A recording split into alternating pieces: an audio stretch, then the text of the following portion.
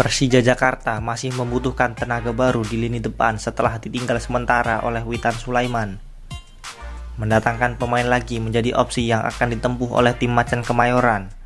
Apalagi performa Riko Simanjudak saat ini sedang menurun dan sering menjadi penghangat bangku cadangan. Rekomendasi pun bermunculan. Ada nama pemain cepat Borneo FC, Terence Puhiri. Pemain asal Papua itu dinilai cocok untuk didatangkan Persija karena sesuai dengan skema permainan Thomas Doll di Persija. Namun, Terence Puhiri sendiri merupakan pemain andalan di klubnya Borneo FC. Jika Persija ingin mendatangkannya, bukan tidak mungkin Terence akan merapat dengan skema transfer. Persija memang membutuhkan pemain-pemain yang bisa mengangkat performa tim demi naik ke papan atas klasemen.